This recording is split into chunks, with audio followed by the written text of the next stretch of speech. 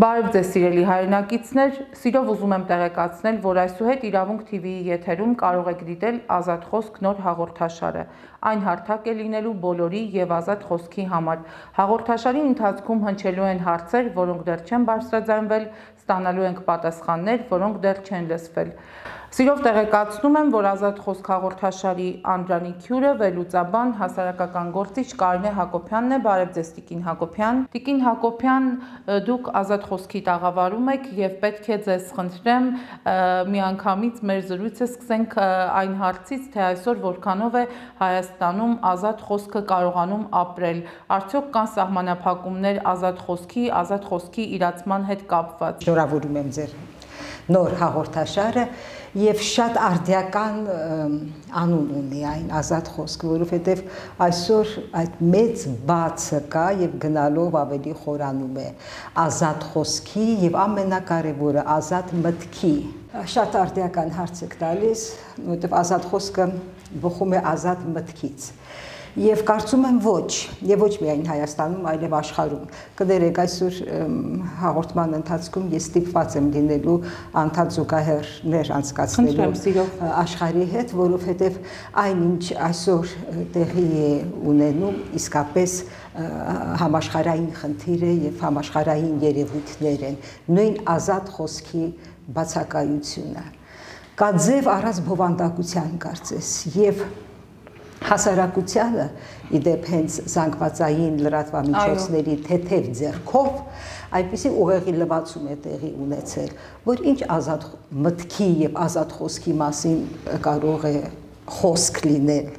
Երբ այսպես փաստերը անգամ մարդկանց ներկայացնում ես թվերը, իրենք նայում են եւ չեն ընկալում, չեն կարող վերլուծել։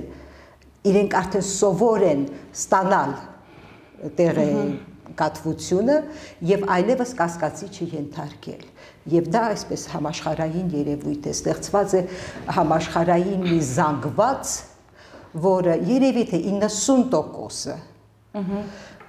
հասարակության այդ վիճակում է։ Այսպես համաշխարային հիպնոզ ես կասեի Ովքեր են այդ հիպնոզի դերակատարները Տիկին Հակոբյան։ Նրանց կողմից, ովքեր ղեկավարում են աշխարհը, այդ խնդիրը դրված է հասարակությանը վերածել զանգվածի։ Դուք ուշադրություն դարձրել եք հենց mass media, mass, այսինքն ուղված է massային եւ ոչ թե անհատին, մարդուն, որականին, այլ զանգվածին։ Տարբեր լեզուներով թարգմանվում է եւ ամենտեղ այդ զանգված վիրավորական բառն է, որովհետեւ զանգվածը զանգվածի մասնիկը այլևս ազատ մտածելու եւ ազատ խոսելու ունակ չէ եւ պետք չեն արգելքներ։ Եթե անգամ հիմա դուք մարդկանց տակ բացարձակ ազատություն եւ ասեք ազատ խոսեք, նրանք ազատ չեն մտածում, որպեսզի ազատ խոսեն։ Պատճառը Տիկին Հակոբյան։ Պատճառը այդ ուղեղի լվացումն է, պատճառը այն է, որ դրա համար երկարատև աշխատանք է տարվել Բայց նաև կա ճնշում ազատ խոսքի նկատմամբ Տիկին Հակոբյան։ Ես գիտեք, անգամ դրա կարիքը չկա։ Այլևս չեք տեսնում։ Դրա կարիքը անգամ չկա, որովհետև ազատ դե հիմա տեսեք, այս համաճարակի օրինակն եմ ուզում բերել։ 500.000 մարդ մի քիչ ավել մահացել աշխարհում կորոնավիրուսից։ Այո Բայց Հայաստանը առաջատարի դիրքերում է ցավոք սրտի։ Դա էլ է երկրորդական։ Դա դա երբ արդեն երբ արդեն սկսում եք ազատ մտածել, հասկանում եք, որ դա երկրորդական է մի քիչ ավել, մի քիչ պակաս երկրորդական է, որովհետև երբ ինքը թիվը կասկածելի է, այլևս մի քիչ ավել, մի քիչ պակաս չես կարող իմանալ։ Աշխարհում նույն գրիպից գրիպ մի տարբեր տեսակներից։ Ամեն տարի մահանում է 2-ից 2.5 միլիոն մարդ։ Եվ այդ գրիպների ժամանակ երբեք արտակարգ դրություն չի հայտարարվել հայտարարվում երբեք կարանտին չի հայտարարվում ռեժիմի մեջ չենք այո մահը մահ է վարակը վարակ է եւ մարդիկ չեն մտածում ինչու հենց այս ամիսներին եւ ինչու հենց վիրուսի այս տեսակի համար այդ արտակարգ դրությունը հայտարարվեց միաժամանակ գրեթե բոլոր երկրներում։ Բայց սա համաճարակ է թե պատերազմ, Տիկին Հակոբյան։ Ի վերջո հից է գալիս պատերազմը, բայց սա պատերազմի բնականաբար ոչ վիրուսի դեմ։ Սա պատերազմ է ազգային պետությունների դեմ, որովհետև այդ գործընթացը համաշխարհայնացման, որը արդեն տասնամյակներ շարունակ հաջողությամբ առաջ է գնում, հիմա հասել է իր վերջին այսպես փուլին եւ մի քիչ էլ արագացնում են գործընթացները։ Ինչու եմ ասում հաջողությամբ առաջ է գնացել, որովհետեւ ազգային պետությունները ոչ թե այս 2020 թվականին, այլ շատ ավելի առաջ վերպետական անդրազգային կառույցների այսպես շահերի բախում կա ազգային պետությունների իրենք պարտված են իրենք պարտված են իսկ այդ անդրազգային կառույցները արդեն իրենց այդ ծրագրերում գրեթե հասնում են վերջին փուլին։ Եվ ինձ իհարկե շատ մտահոգում է եւ զարմացնում է, որ Հայաստանում կարծես անհաղորդ են այդ process-ներին։ Հայաստանը կարծես կտրված է այդ մեծ խնդիրներից։ Ես չգիտեմ դա ինչից է գալիս, դա գալիս է մեր միշտ էսպես չեմ ուզում բադ բարեր գործածել, բայց սուբյեկտ չլինելուց քաղաքական դաշտում դա գալիս է նրանից, որ կարծես ի սկզբանե մենք գիտենք, որ մենք ոչինչ չենք կարող որոշել, բայց դա շատ վատ է եւ շատ սխալ է։ Ում որոշումներին ենք սպասում Տիկին Հակոբյան, եթե տեսեք նույն հա, համավարակի պայմաններում տեսեք ցուցանիշները փաստորեն Հարևան Վրաստանը օրինակ կարողանում է հաղթահարել, կարողանում է սպառնալիքների դեմ նարդել, բայց Հայաստանում խնդրեմ հենց դուք դարձյալ, հենց դուք դարձյալ ոչ թե ուշադրություն եք դարձնում այն թվին, որ տուբերկուլոզից, եթե մեզ մոտ չկա այդ ստատիստիկան Ռուսաստանում կա 5 անգամ ավելի մարդ է մահանում, քան այս կորոնավիրուսից։ Դուք ոչ թե դրան եք ուշադրություն դարձնում։ Պատերազմի ժամանակ նաև պետք է պաշտպանությունը ամրացնել, նաև պետք է կարողանալ պաշտպանվել։ Բայց բայց եթե եթե սա պատերազմ է, իրականում պատերազմ է, բայց դուք ձեր խոսքում իդեպ ուզում եմ մեջ բերել, որ դուք այստեղ ասում եք ձեր կներեք ձեզ ընդհատեցի, որ ձեր նախկին զրույցներից մեկում հրաապարակային ասել ասել էիք, որ սա մի պատերազմ է, որտեղ հարցակվողը անտեսանելի է, հա, մենք չենք տեսնում այդ անտեսանելի հարցակվողներին եւ որ պետք է հասկանալ նաեւ այս առողջվածային պատերազմի նպատակը։ Հետևապես պատերազմի պայմաններում պետությունները պետք է նաև կարողանան պաշտպանվել։ Խոսքս դրա մասին է։ Ինչպես է ստացվում, որ նույն Վրաստանը, նույն հարևան երկրները կարողանում են, բայց եթե մենք վիճակագրությունը տեսնում ենք, չէ՞ որ համեմատությունների մեջ է նաև Տիկին Հակոբ։ Ինչքան մարդ է մահանում քաղցկեղից յուրաքանչյուր տարի, սրտանոթային հիվանդություններից, մահը մահ չէ, ինչու ենք մենք միայն այսպես կենտրոնացել այս կորոնավիրուսի վրա եւ համեմատվում։ Բայց ամեն օր 7-ից 5-ից 10 մահի մասին է ազդարարում քաղաքից ավելի շատ է մահանում եւ ինչու նույն առողջապահության նախարարությունը մեզ հաշվետվություն չի տալիս ինչքան մարդ է մահանում քաղցկեղից եւ եւ միջոցներ չեն ձեռնարկում դրա դեմ դա հանքարդյունաբերության հետ է կապված հաշվետվություն տալ չեն սիրում իրենք առհասարակ ինչու հանկարծ միայն կորոնավիրուսի վերաբերյալ սկսեցին հաշվետվություն տալ Այստեղ արդեն հարցը Վրաստան, Ադրբեջան, Ռուսաստան հարցը դա չի հարցը իսկապես դա շատ երկրորդ ամեն դեպքում այս պատերազմի կենսաբանական պատերազմի դեմ այո կենսաբանական պատերազմի պայմաններում բոլոր դեպքերում միայն կենսաբանական չի կներեք որ ընդհատում եմ սա մշակութային է տնտեսական է կենսաբանականը որպես միջոց որպես միջոց գործիքներից մեկը որպես այո այո բայց հիմնականում մշակութային տնտեսական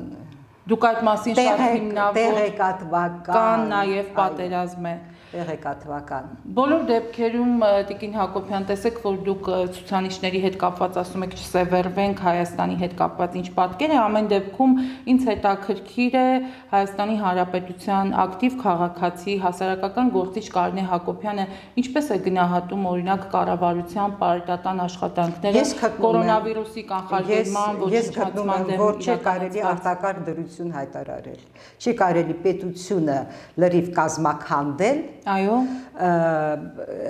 գրիպի թեկուս համաճարակի ամեն տարի լինում են համաճարակներ չի կարելի, որովհետև գիտեք, միայն կյանքի տևողությունը չի, նաև կյանքի որակն է։ Եվ սեպտեմբերի 1-ին ուսանողները չեն գնալու համալսարան, նրանք կորցնում են իրենց ուսանողությունը, ուսանողության տարիները, եւ դա մեծ ողբերգություն է, եւ դրա մասին ինչու չեն խոսում նույն ընդդիմադիր կուսակցությունները։ Ընդդիմադիր կուսակցությունները այս հարցում իշխանությունից ել ավելի իշխանական են։ Իրենք ասում են ել ավելի խիստ միջոցներ, ել ավելի խիստ կարանտին։ Սա ինչ բան է։ Իրենք իրենք չեն նայում թվերին Այսինքն իրենք ուզում են լրիվ տնտեսությունը քայքայվի, լրիվ կրթական համակարգը քանդվի։ Որքան վատ, այնքան լավ։ Ես իհարկե այդպես չեմ կարծում, որ ընդդիմադիր կուսակցությունները այդպես են մտածում, բայց այդպես ստացվում է։ Դուք ինչ կառաջարկեիք այդ համատեքստում, օրինակ, ինչ պիտի անի այն ընդդիմությունը, որը որ կա, փաստորեն ճշմարտությունը պետք է ասին նույն այս ինչ են թաքցնում նրանք ըստ նույն այս կորոնավիրուսի հետ կապված պետք է ասի ճշմարտություն ինչպես ասում են առանձին մտավորականներ օրինակ Կարեն Վարդանյանը, Արմեն Այվազյանը թվեր են բերում, փաստեր են բերում, վերլուծում են, բայց ընդդիմադիր կուսակցությունները դա չեն անում իրենք նպատակահարմար չեն գտնում իմ կարծիքով։ Իրենց քաղաքական շահերից ելնելով են իրենք գործում։ Եվ դա ազնիվ չէ։ Դա ազնիվ չէ, որովհետև այս ճանապարհը իսկապես տանում է նաև իշխանության անկման, իշխանության թուլացման, իսկապես տանում է, բայց այդ ճանապարհին ել ավելի կրկնակի եւ երակի թուլանում է պետությունը Բայց իշխանությունը կարծես թե նպաստում է այդ թուլացմանը, Տիկին Հակոբյան, նույն կառավարության անդամները միայն քաղաքացիներին դիմակ բաժանելով միայն ավելելով Ես դա եմ ասում։ Ես դա եմ ասում։ Այդ ճանապարհով մենք եւ փոխարենը դա քննադատելու, ասում են քիչ են միջոցները, ել ավելի շատ դիմակ բաժանել։ Օրինակ նույն Երևանում մենք տեսնում ենք, թե ախտահանման հետ կապված ինչպիսի խայտարակ պատկեր է, ասենք օրինակ ոչ թե պետք է կարծում եմ վարչապետը անձամբ այնքան պարա պետք է լինի, որ անձամբ դիմակներ բաժանի իր թիմի եւ կառավարության անդամների հետ միասին, այլ նրանք պետք է հասարակական վայրերում, խանութներում, տարբեր տեղերում կարողանան հասանելի դարձնել, որ դուրս եմ գալիս դիմակով եւ տեսնում ամբողջ քաղաքը դիմակով է եւ որքան շատ են դնում դիմակ, այնքան թվերը, որ ավելացել է կորոնավիրուսը ավելանում է։ Ինչու՞ Գուցին Հակոբյան, դա ինչու՞։ Ես ինձ այդ թվերը չեն համոզում ինձ համար այդ թվերը հիմք չեն այն տեսակետից, որովհետև բազմաթիվ հոդվածներ եմ կարդացել հայտնի մասնագետների, եվրոպական, Ռուսաստանի եւ Միացյալ Նահանգների համաճարակաբաններ, բժիշկներ, կենսաբաններ, որոնցից ոմանք նաև ասում են, որ երբ այդ տեստ անցկացնում ես գենետիկ, այսպես գրեթե մեծ մասի մոտ այդ կորոնավիրուսը կա։ Եվ այստեղ այն չի թե որքան ես տեստ անցկացնում Դա կա, դա մեր մեջ է։ Ինչքան ենք այսպես փակվելու Տիկին Հակոբյան, ինչքան ենք փակվելու, ինչքան ենք մեկուսանալու, այսպես այս պարալիզացված ճանապարհը, պայմանները ուր են վերջո Սա ճանապարհ չէ, ես դիմում եմ իսկապես ղեկավարությանը եւ այո, եւ խնդրում եմ ասելով, որ սա ճանապարհ չէ։ Մեր ճանապարհը բնակչության դիմադրողականությունը ուժեղացնելն է, որովհետև անընդհատ տարբեր վիրուսներ են եկել, գալիս եւ գալու։ Պետք է բնակչությունը առողջ լինի։ Դա սպորտն է, դա առողջ սնունդն է, դա մետաղյա հանքարդյունաբերությունից աստիճանաբար հրաժարվելն է, դա մաքուր օդն է, առողջ ապրելակերպն է, դրա մասին պետք է մտածի պետությունը եւ առողջապահության նախարարությունը առաջին հերթին։ Ցավոք սրտի այդպես չէ առողջապահության նախարարի աշխատանքը կոնկրետ իրար հակասող հայտարարություններ մի օր դիմակ կրել, հետո դիմակ չկրել, հետո ասել թե բժշկական դիմակներն են առավել արդյունավետ թե տամ, այսինքն վարչապետը հայտարարում է, որ քաղաքացիները կարող են տամ պայմաններում էլ դիմակ պատրաստել եւ կրել, մի քանի ժամ հետո առողջապահության նախարարը հերքում է վարչապետին, այսինքն հայտնի անեկդոտն ենք հիշում ակամայից ուզում եմ հասկանալ։ Խնդիրը դիմակն է, եթե դա է մեր խնդիրը, մենք իսկապես երջանիկ պետություն ենք, բայց այդպես չէ, խնդիրները գնալով ավելանում են։ Տնտեսությունը զարգացնելու մասին կոնկրետ պատասխանատվության չափաբաժինը Փաստ է, որ այդպես է։ Այո։ Բայց մենք տեսնում ենք հասարակական դրա դեմ պահանջարկ, մենք ինչ ենք ուզում, ինչպես հարկն է, չենք տեսնում։ Եվ դա է ինձ շատ մտահոգում հասարակության կողմից բացառությամբ, այսպես անհատների մենք չենք տեսնում չենք տեսնում։ Չեն օտարվել իշխանությունը։ Եվ կներեք, ես ես ինքս եղել եմ ընդդիմադիր կուսակցության այո մեջ եւ իմ ամբողջ, այսպես հասարակական գործունեության ընթացքում միշտ եղել եմ ընդդիմադիր դաշտում։ Բայց դուք հասարակությունից չեք հեռացել։ Կարեն Հակոբյանը մնացել է հասարակության հետ իսկ բարձ է ընդդիմության կողմն է, բայց ես ցավով եմ ասում, որ այսօր իրենց գործունեությունը չի համապատասխանում օրվա պահանջին պահանջին իրենք չեն ներկայացնում իրական խնդիրները եւ անձամբ ես մտածում եմ այստեղ անձերի փոփոխության հարց չէ եթե նույն այս կեղծիքը այո աճպարարությունը չգիտեմ գալյուցինացիան համաշխարհային, չգիտեմ արդեն ինչ անուն տամ, ընդդիմությունը եւ իշխանությունը նույն կարծիքի են։ Ես արդեն սկսում եմ կասկածել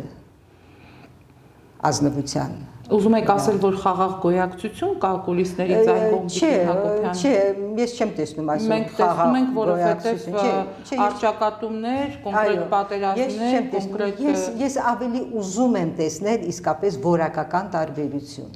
ընդդիմադիր կուսակցությունների իշխանությունից շատ եմ ուզում տեսնել եւ այդ որակական տարբերությունը պետք է երևա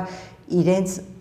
վերաբերմունքով ցանկացած այսօր արդյական հարցի։ Օրինակ մենք տեսանք, որ նույն Բարգավաճ Հայաստան կուսակցությունը եւ Գագիկ Ծառուկյանը փաստորեն օգտվելով իր ազատ արտահայտվելու ազատ խոսքի իրավունքից նրանք արտահայտեցին կոնկրետ դժգոհություններ կառավարության աշխատանքների հետ կապված եւ պահանջեցին հրաժարականը փաստորեն կառավարության կադրային քաղաքականության ձախողումների մասին բարձրաձայնեցին, բայց ահա տեսանք, որ արդյունքում ինչ տեղի ունեցավ եւ որ այդ ամենի համար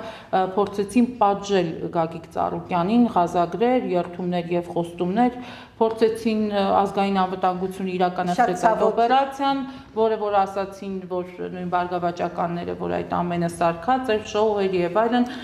մարդիկ փաստորեն արտահայտեցին իրենց ազատ խոսքը, ազատ կամքը, ընդդիմացան, բայց ինչ ունեցանք արդյունքում եւ մի բան էլ, եթե ընդդիմադիր կոնկրետ կուսակցության նկատմամբ է այդպիսի հակահարված հասցվում, այս դեպքում շարքային քաղաքացին որքանով է կարողանալու իր ազատ խոսքի տերը լինել եւ պաշտպանված որքանով է լինելու նրա ազատ խոսքը։ Գիտեք, մի հետաքրքիր բան ասեմ, երբ երբ մեծամասնություն սկսում է ճիշտ մտածել եւ ընդդիմանալ ճիշտ ընդդիմանալ ճիշտ ընդդիմանալ այդ ժամանակ չի կարող իշխանությունը հասկանում եք, դա հատվածային է, մեկ դեպք է, մեկ ելույթ է, մեկ առիթով Շատ հեշտ է այսպես մաս-մաս բաժանի որ տիրես, բայց երբ համախմբում է լինում, օրինակ երբ մեկ օրում մի քանի 100.000 մարդ դուրս է գալիս փողոց, այդ ժամանակ իշխանությունը հաշվի է առնում Դե արտակարգ դրության պայմաններում արտակարգ դրության պայմաններում, բայց ընդդիմությունը չի խոսում արտակարգ դրության դեմ։ Երբ ես առաջին անգամ լսեցի, որ արտակարգ դրություն է հայտարարվել, ես ապշեցի, որովհետև արտակարգ դրություն դա, դա գիտեք ինչ է։ Դա որ դեպքում է հայտարարվում արտակարգ դրություն։ Գրիպի համար արտակարգ դրություն, բայց ընդդիմությունը չի խոսում դրա մասին։ Ինքը խոսում է, որ պետք է դեռ ավելի, ավելի դեռ քիչ է։ Իսկ ձեր կարծիքով այդ դեպքում ո՞րն է պատճառը, Տիկին Հակոբյան։ Ինչ է պատճառը։ Պատճառը նպատակահարմարությունն է։ Այսինքն քաղաքական վերադասավորումների համար ժամանակ է պետք։ Քաղաքական իրենք եւ դա է որ շատ ցավալի է նախապատրաստական աշխատանքներ ինձ համար շատ ցավալի է որ չկա այդ ազնվությունը այդ անկեղծությունը որ սա է ճշմարիտ, ուրեմն մենք դա ենք ասում, ոչ թե մենք հիմա նպատակահարմար է դա ասել, թե չէ։ Ես չեմ կարող մտածել, որ ամբողջ ընդդիմությունը այդ հիպնոզի մեջ է։ Այս դեպքում նույն ինչով են զբաղված օրինակ լիբերալ կլասիկները լուսավոր Հայաստանը ինչով էր զբաղված նա այս ժամանակահատվածում? զբաղված են ընդհանրապես զբաղված են ժամանակից կտրված լինելով լիբերալիզմը ճգնաժամի մեջ է, կապիտալիզմը ճգնաժամի մեջ է, բայց Հայաստանում դրա մասին չեն խոսում։ Հայաստանում դեռ լիբերալիզմ են խաղում։ Ընդհանրապես քաղաքական համակարգը երբ ձևավորված չէ, շատ ցավալի է, բայց երբ իշխանությունը լավը չի, ընդդիմությունը նույնպես կամ լինում է թույլ, կամ լինում է հեղափոխական ինքը համակարգը իրենք փոխկապակցված են, որpիսի ընդդիմությունը իսկապես լինի առողջ եւ լինի ուժեղ, իրական ուժեղ ընդդիմություն, պետք իշխանությունն էլ կլինի։ Գիտեք, այսպես հավիձ դվար ասել, որը որից է բխում, բայց փոխկապակցված են եւ զարմանալի չէ որ այսպես է եւ 30 տարի պատճառը այլ է որ սխալ հիմք է դրված մեր անկախ պետականության եւ մենք մինչեւ դրա մասին այսպես բարձրաձայն չխոսենք եւ իշխանությունը դա չընդունի նաեւ որ 90-ական թվականներին բոլոր ասպարեզներում եւ տնտեսվարման եւ քաղաքական սխալ ուղղությամբ ենք մենք դե գնացել հայոց համազգային շարժումը իր գաղափարախոսությամբ պետք է մերժվի բայց բայց նա մինչ այսօր շարունակվելու բայց նա մինչ այսօր շարունակվում է եւ քանի դեռ մինչ այսօր շարունակվում է որևէ դրական փոփոխություն մենք չենք կարող ակնկալել նույն Արցախի հարցում. 30 տարի է Հայաստանում անջատողական քաղաքականություն է իրականանում անջատողական բայց մենք խոսում ենք միայն մանրուքներից, այսպես դետալներից, բայց այն հիմնական հարցը, որ 90-ականների սկզբին մենք միացման գաղափարից հրաժարվեցինք նույն ՀՀՇ-ի այսպես առաջնորդությամբ եւ այդ անկախության թակարդի մեջ ընկանք եւ այսօր էլ Եվ այսօր էլ մենք հրապարակավ լսում ենք կարծիքներ Ալիևը սա ասեց, նա սա ասեց, Լավրովը սա ասեց, ինչ տարբերություն ինչ ասեցին, եթե մենք ինքներս մեր քաղաքականությունը անչատողական։ Դե հիմա նորից շրջանառության մեջ դրվեց կարծես թե ամեն ինչ կարող է, հասկանում եք Լևոն Տեր-Պետրոսյանի պատերազմ խաղաղություն հայտնի, այսինքն նորից մենք վերադառնում ենք եթե այո արմատներին, արմատը երբ արմատը երբ փուչ է եւ մենք անդադ խոսում ենք տերևներից, ուզում ենք տերևները առողջ լինեն, այդպես հնարավոր չի։ Մենք պետք է ասենք, որ սխալ ուղիով ենք 30 տարի գնացել ոչ միայն Արցախի հարցում, այլ բոլոր հարցերում։ Ինչ պետք է անենք համախմբվելու համար Տիկին Հակոբյան, հատկապես որ դուք ելի ձեր ելույթներից մեկում ասել էիք, որ այս համաճարակը, այս պատերազմը անտեսանելի ճշնամիներով պատված, նաև մի ժամանակ էր, որ պետք է համախմբվեինք, իրար սիրեինք, սա մի ժամանակ էր, որը պահանջում էր մաքրում, զտում։ Այդ մասին դուք եւս դիտարկումներ բավականին հետաքրքիր ներկայացրել եք։ Հիմա ուզում եմ հասկանալ, մենք ունենք համախմբման շանսեր, թե ոչ, հատկապես եթե հաշվի առնենք նաև այն հանգամանքը, որ այսօր ի վերջո մենք պետք է համախմբվենք մեր ազգային պահպանողական հա արժեքների, մեր ազգային պահպանողական գաղափարախոսության շուրջ եւ այստեղ ուզում եմ նաև անպայման մեջ բերել կարևորել նաև սահմանադրական իրավունք միություն կուսակցության դերակատարությունը եւ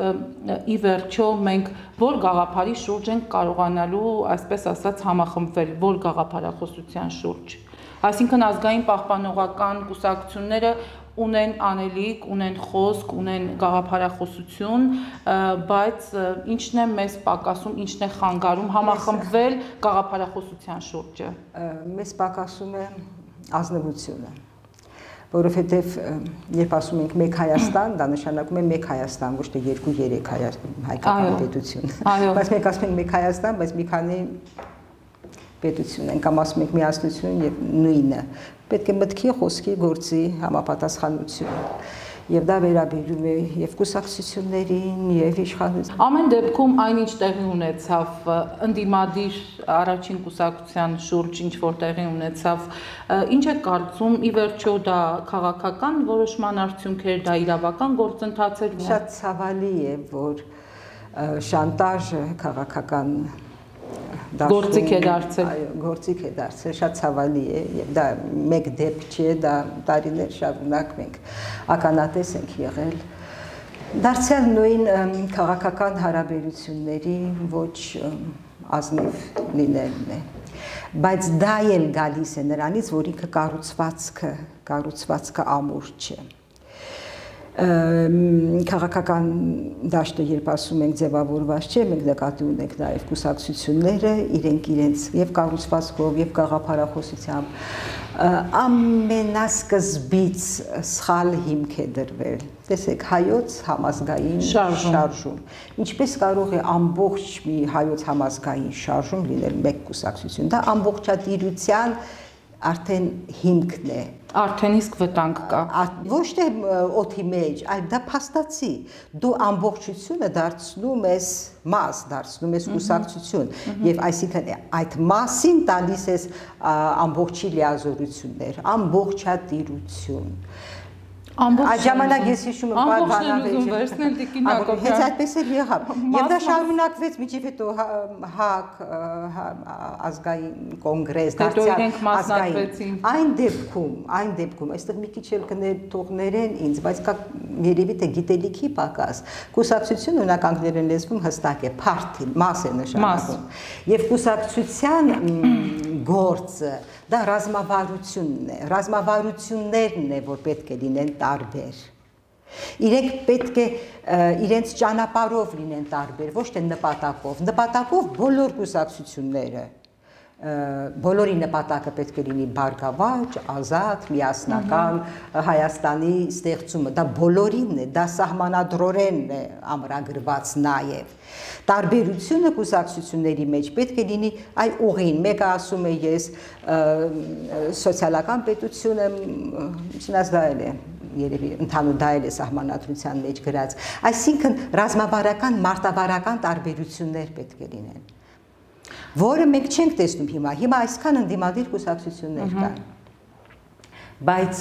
չգիտեմ, գուցե կա ես այսպես չեմ ուզում կատեգորիկ ասել, բայց ես չեմ լսել մի կուսակցություն, որը ասի, որ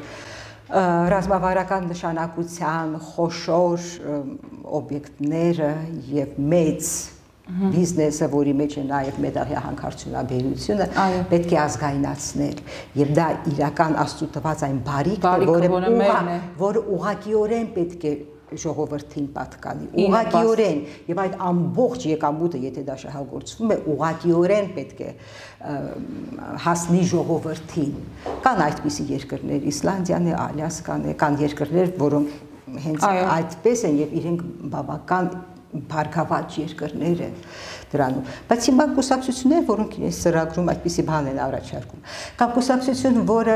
իսկապես այն նոր մոդել է կառավարման առաջարկում ինքը համակարգ է ուզում փոխել ես չեմ տեսնում համակարգային փոփոխություններ կարծես թե չեն առաջարկում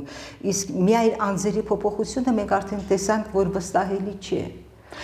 գալիս են այդ աթորին եւ կերպարանափոխվում են Իդեպ ինչ նոր մոդել է փորձում առաջարկել, ինչ նոր ծրագրեր է փորձում փաստորեն իրացնել քաղաքական դաշտում ԱԱԾ նախկին ղեկավար Արթուր Վանեցյանը, ով փաստորեն հայտնի է նրանով, որ ստացավ գեներալի կոչումը հրացավ, հայտնի է Մանվել Գրիգորյանի դեմ իրականացված ԱԱՑ օպերացիայով Ռոբերտ Քոչարյանի դեմ իրականացված գործընթացով, հա, կոնկրետ Արթուր Վանեցյանի հետ կապված, հա, ինչ է կարծում, նա ինչ շանսեր ունի առհասարակ քաղաքական խաղատախտակի վրա եւ ինչի վրա է հույսը փորձում դնել Արթուր Վանեցյանը, այսպես ասեմ։ Իսկ ընդհանրապես ցանկացած քաղաքական գործիչ հույսը կարող է դնել քաղաքական անակնկալների վրա,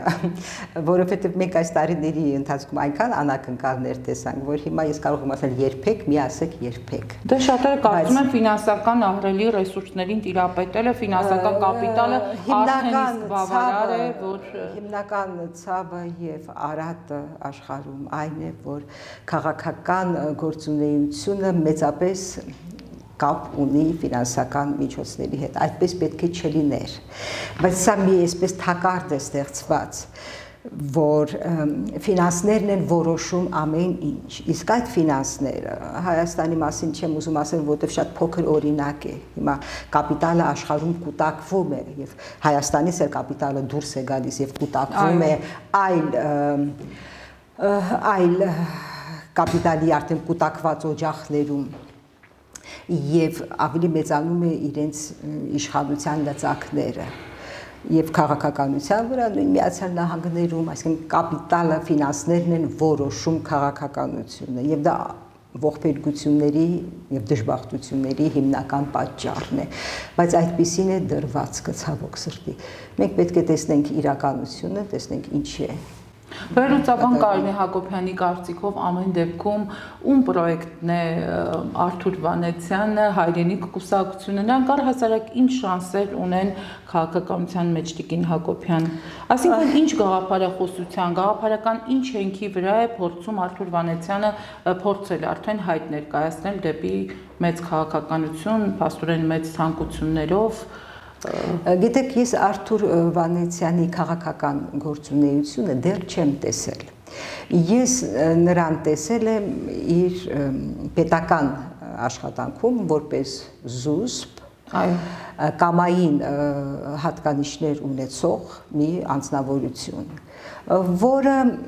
լուրջ է իր կերպարը այդպիսին է թե ինչպիսին ինքը կլինի քաղաքական դաշտում ես դեռ չեմ կարող ասել որովհետև ազգային անվտանգության ծառայության գործունեությունը բաց չի չգիտեմ նույն վարչապետ Փաշինյանը իր ուր աշխարհի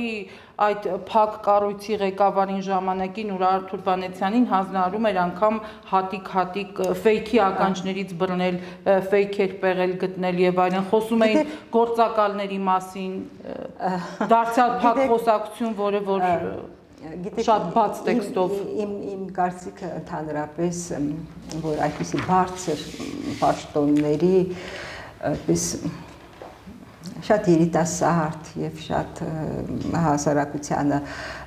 ոչ հայտնի մարդիկ չպետք է նշանակվեն դա վնաս է ոչ միայն գործին, այլև վնաս է հենց այդ մարդկանց։ Ես Կուտոյանի ողբերգական դեպքը հիշեցի, այսինքն իր տարիքի համար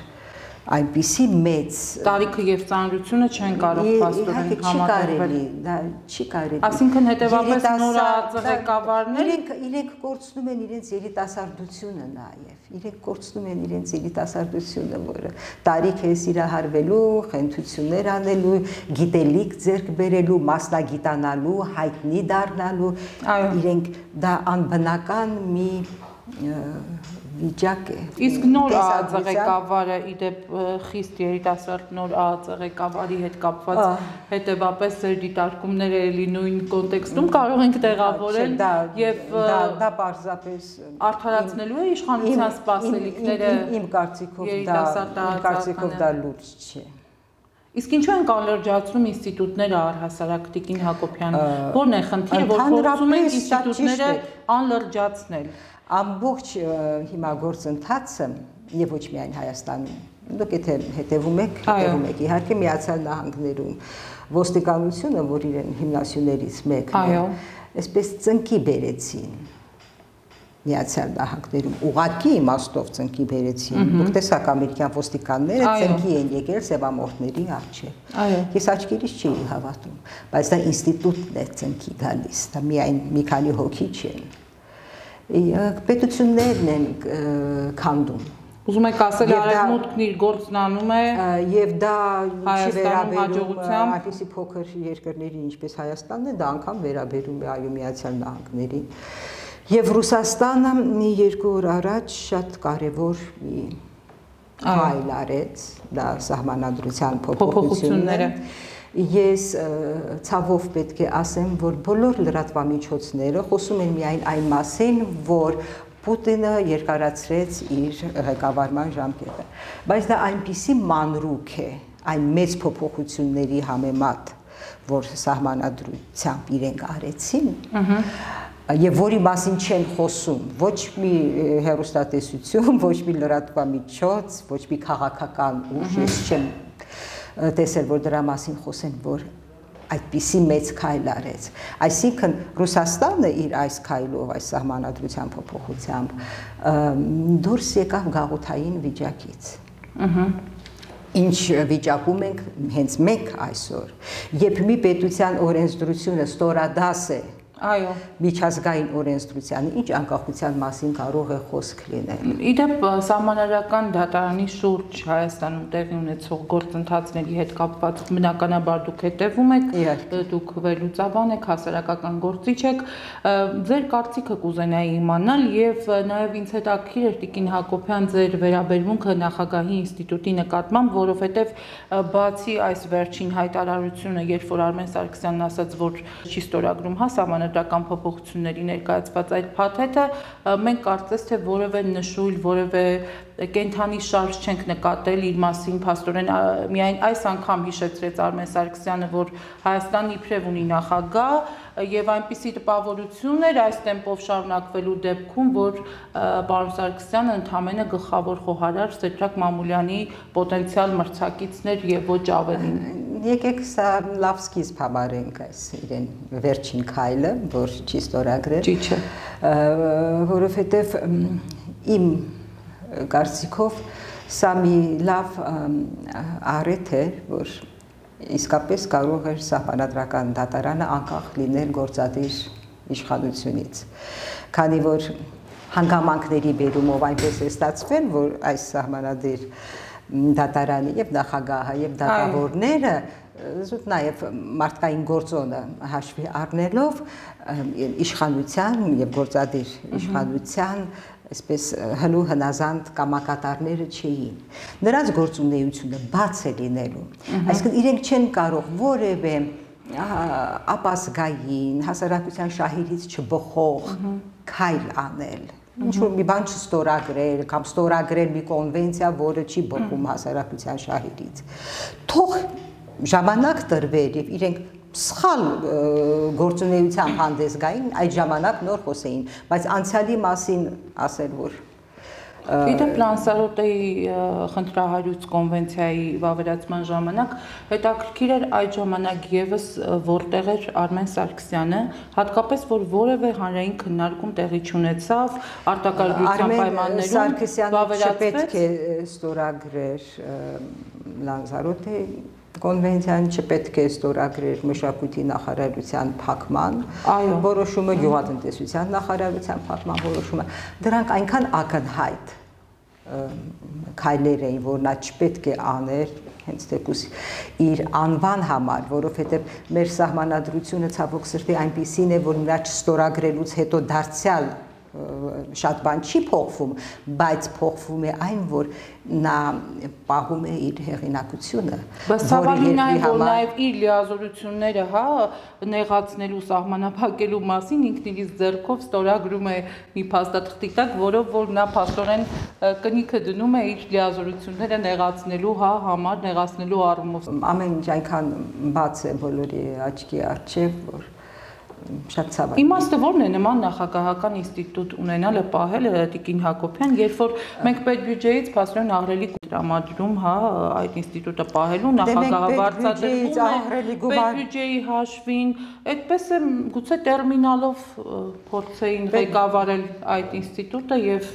ՀԴՄ կտրոնել տրամադրեին եւ ամեն բան երջանիկ ու լավ կստացվեր։ Նախագահի ինստիտուտը ավելի փոքր է, եթե համեմատենք ազգային ժողովի հետ, որտեղ կարելի է 4 քանի կուսակցություն են 4 4 դե 4-ը կուսակցություն 4-ը կոճակ 4-ը падգամավորների բավական էր այնտեղ անհատ մեկ չեք տեսնում Ահա բայց այն դեպքում որ 100 քանի անհատի որոշում կա Եվ դա է սխալը, այդ կուսակցական համակարգը, այդ համամասնականը։ Բայց իշխանականներն ասում են այժմ խոսքի ազատություն, ժողովրդավարություն, որ որևէ մեկը որ իրենց ազատ խոսքին կամքին չի բռնանում, իսկ պատկերը ինչու է այսքան տխուր եւ այսքան անհուսադրող։ Փաստորեն դուք հիմա ասացիք, որ 4-ը падգամավորն էլ բավարար էր այս։ Իրականում հենց իրենք այդ ֆունկցիան ունեն, չէ՞։ Երբևէ լսել եք, որ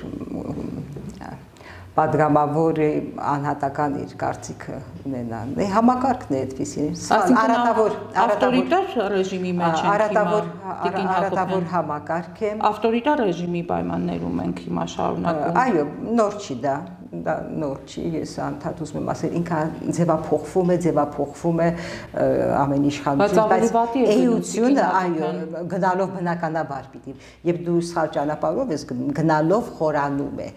դու պետք է փոխես ճանապարհը։ Դրա համար պետք է գաս սկիզբ 90-ական թվականների սկիզբ, նշես բոլոր այդ սխալները, ինչ որ տեղ են ունեցել եւ ճիշտ ճանապարհ ընտրել ճիշտ գաղափարախոսությամբ։ Պետություն չի կարող լինել առանց գաղափարախոսության։ Եթե դու չունես գաղափարախոսություն, այստեղ աշխատում են օտար գաղափարախոսությունները, այն ինչ այս 30 տարիների ընթացքում եղել են։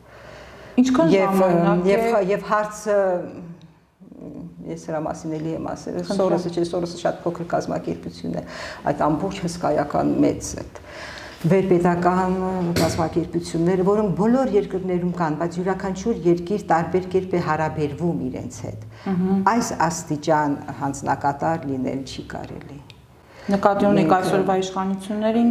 Նախկին իշխանությունները նույնպես իհարկե սկիզբը դարձյալ դրվել է 90-ական թվականներին, բայց գնալով խորացել, խորացել, խորացել, իսկ հիմա իսկ հիմա այսպես մի ստրկական բայց նաև իշխանության ներկայացուցիչների մի զգալի մասն են կազմում փաստորեն սորոսական դե, հողերով եկած այդ այո սորոսական ես ասում սորոսը սիմվոլ է դարձել այստեղ սորոսի հարցը չի այստեղ այո արև արևմուտք Եվ արևմուտքի ներկայությունը այս տարածին արժեքների այն դեպքում որ արևմուտքը խորը ճգնաժամի մեջ է։ Ուրիշ բան որ արևմուտքը զարգացող, ծաղկող մի Տիկին Հակոբյան բոլոր դեպքերում օտարածին այս արժեքների ներմուծումը Հայաստան ինչ վտանգներով է հետագայում հնարինելու, քանի որ նոր դուք ձեր խոսքում շատ լավ բան ասացիք, որ քանդելով գնում են անընդհատ, հա, ոլորտ առ ոլորտ մենք տեսնում ենք, որ ավելի շատ քանդվում է, քան փաստորեն կառուցվում։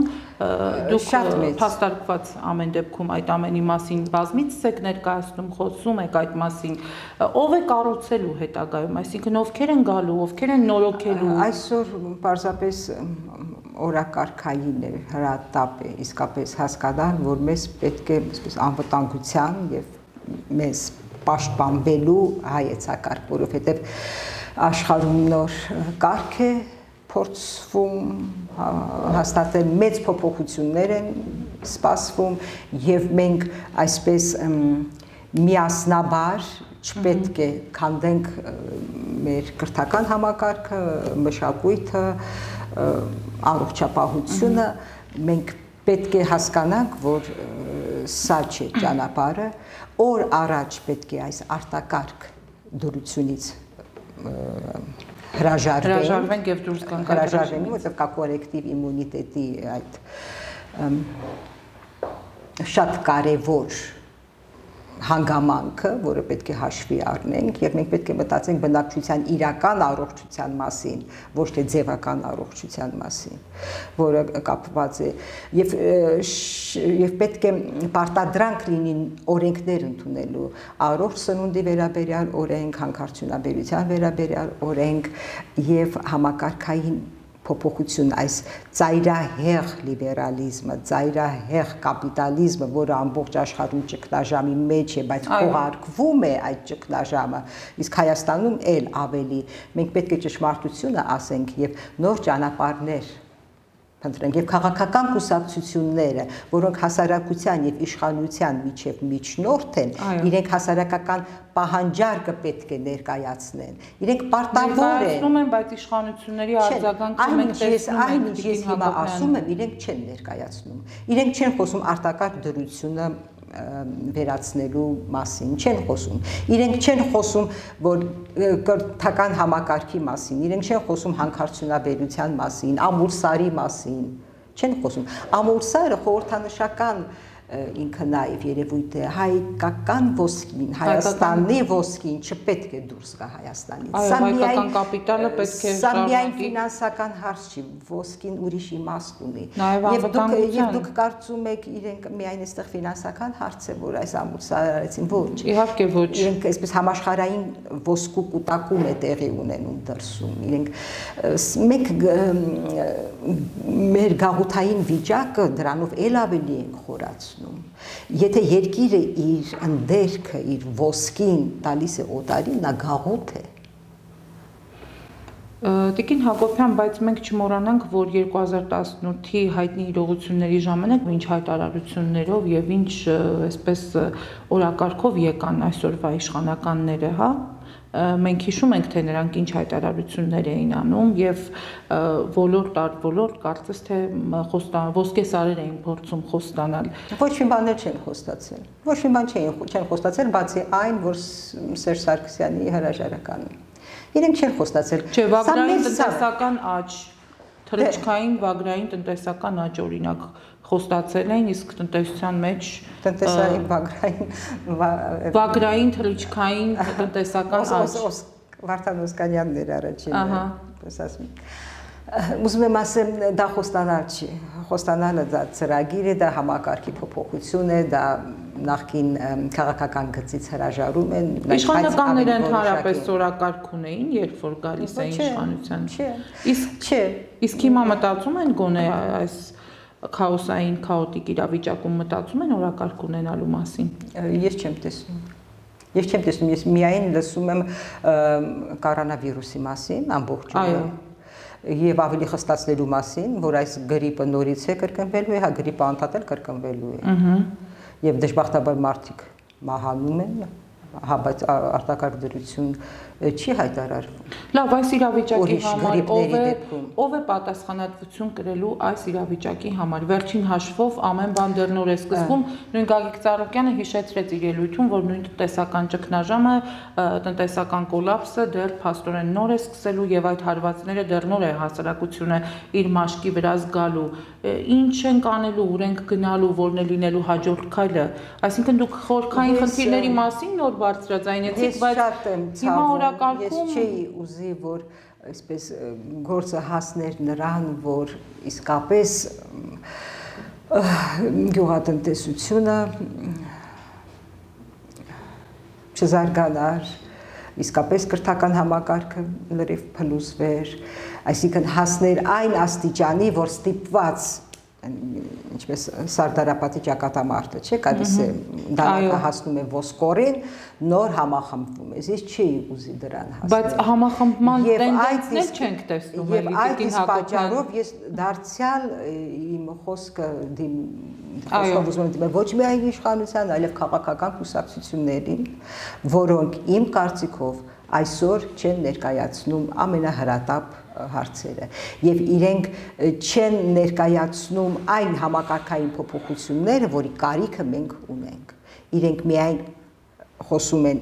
իշխանության հրաժարականի մասին, բայց թե իրենք ինչ են անելու, եթե իրենց իրենց տարբերությունը միայն այն է, որ իրենք հենց այս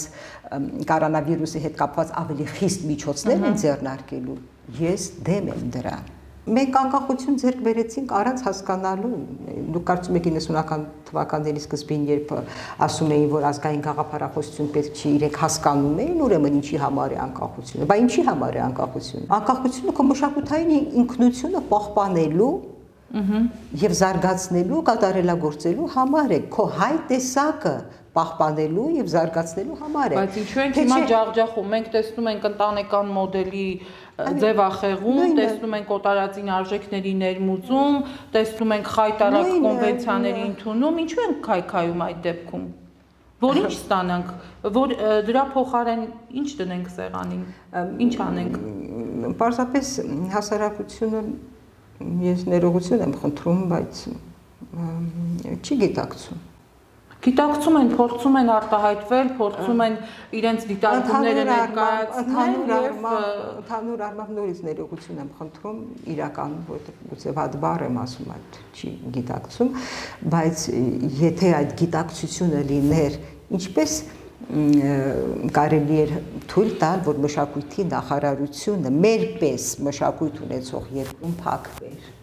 Ես մի քանի ելույթներ եմ ունեցել, բայց այնպես հատուկեն ուրիշ ելույթներ են եղել, դե բայց ընդհանուր առմամբ Լիլիթ Մակունցի մեջ Տիկին Հակոբյան, Լիլիթ Մակունցն ասաց այդ մշակույթի ինքն է։ Մեզ պետք չէ այլևս մշակույթի փաստորեն նախարարություն։ Ինչ անել։ Ինչ անել արտնանալ հասարակությունը պետք է արթնանա։ Շատ կան քնած մարդիկ, հա, Տիկին Հակոբյան։ 90%-ը քնած են։ 90%-ը թմբիրի մեջ են եւ հիպնոզի մեջ են եւ նույն այս կորոնավիրուսի առնչությամբ դարձյալ Տիկին Հակոբյան բոլոր դեպքերում լավատես է Կարինե Հակոբյանը այս իրողությունների, այս իրողությունները հաշվի առնելով որքանով է լավատես, որքանով է լավատես Կարինե Հակոբյանը եւ ինչ է կարծում այդուհանդերձ գաղափարն է հաղթելու մեծ պայքարում, թե ի վերջո ֆինանսներն են հաղթելու, հատկապես որ ժամանակին հայտնի դասականն ասում էր, որ քաղաքականության համար մեծ խելք պետք չէ։ Գիտեք, բոլոր համաշխարհային պատերազմները ավարտվել են հարցակվող կողմի պարտությամբ։ Այո։ Ես հույս ունեմ, որ այս պատերազմը նույնպես կավարտվի։ Պարզապես շատ ցանկանում եմ, որ կորուստները լինեն քիչ եւ Հայաստանը հասկանա, որ ինքը այս երրորդ համաշխարհային պատերազմի մեջ է, որը նոր չի սկսվել, սա գուցե եւ վերջին տարիներն են այդ պատերազմին, ավելի երկարատև պատերազմ էր։ Սա համաշխարհայնացման գործընթացների վերպետական անդրազգային կառույցների ազգային պետությունների դեմ, որոնք ուզում են վերացնել ազգային սահմանները, ազգային պետությունները, կապիտալի ազատ հոսքը եւ այն, որ իրենք այսօր աշխարհի հարստության տերն են, ֆինանսական հարստության տերն են եւ դրա միջոցով նաեւ աշխարհի տերն են աշխարհի տերն են դրա միջոցով ցավոք սրտի ոչ ամբողջությամբ massամբ իրենք ձգտում են ամբողջատիրության եւ համաշխարհային կառավարության ստեղծման ես կարծում եմ ինչպես նախորդ համաշխարհային պատերազմները այս պատերազմում նրանք եւս կպարտ վեն, պարզապես եթե մենք տեսնենք իրականությունը եւ մենք տեսնենք վտանգները եւ ինչ կարող է Հայաստանը անել նվազագույն կորուստներով այս պատերազմից դուրս գալու համար դա կլինի ճիշտ։ Այդ իսկ պատճառով ես դարձյալ դիմում եմ ընդդիմադիր կուսակցություններին եւ ոչ թե իշխանությանը, որովհետեւ իշխանությունը արդեն կա, փաստ է։ Ընդդիմադիր կուսակցություններն են, որ ապագան են։ Մենք հիմա ապագայի մասին ենք մտածում ընդդիմադիր կուսակցություններին եմ դիմում, որպեսզի իրենք հանդես գան համակարգային փոփոխություններով, էական փոփոխություններով եւ կապված գաղափարախոսության հետ եւ կառավարման մոդելի եւ տնտեսվարման եւ այսօր խոսել դարձյալ այդ կարճել լիբերալիզմից եւ կապիտալիզմից դա այնքան ժամանակավրեպ է եւ կտրված չլինել աշխարհում տեղի ունեցող գործընթացներից նոր աշխարհակարգ է ձևավորվում, ինչ աշխարհակարգ է ձևավորվում, ինչ տեղ է ունենալու Հայաստանը այդտեղ։ Շնորհակալ եմ Տիկին Հակոբյան բովանդակալից եւ հետաքրիր զրույցի համար։ Կհանդիպենք հաջորդ շաբաթ։ Մնացեք խաղաղությամբ, սիրելիներս։